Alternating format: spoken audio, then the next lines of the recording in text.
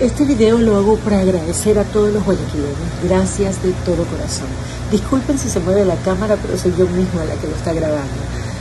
Gracias por haber sido un pueblo valiente que resistió cuatro años, los más difíciles que ha tenido la historia de Guayaquil.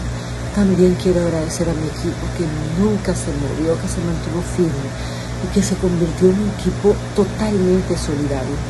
Quiero también felicitar al señor Aquiles Álvarez, es el nuevo alcalde de la ciudad de Guayaquil, ganó las elecciones y le deseo todo el bien del mundo. Deseo que siga cuidando a nuestros chicos con discapacidad en nuestros centros. Deseo que no abandonen nunca a los chicos que consumen droga en los dos centros que tenemos de desintoxicación.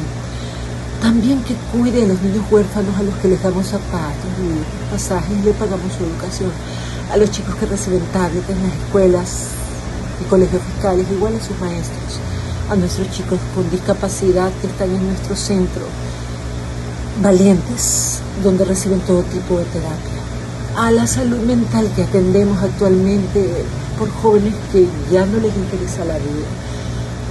No descuide tampoco a nuestros perritos y gatos que están en nuestros centros de acogida. Búsqueles un hogar, no abandone a las personas que comen todos los días gratuitamente en las casas rosadas, que se atienden en salud mental, física, odontológica, que reciben fisioterapia, ropa, sillas de ruedas y colchones y todo lo que necesitan para poder seguir con sus duras vidas. Solo eso, señor Aquiles Álvarez. Usted tiene a su lado una ciudad maravillosa, realmente maravillosa. Cuídela, como si fuera su casa.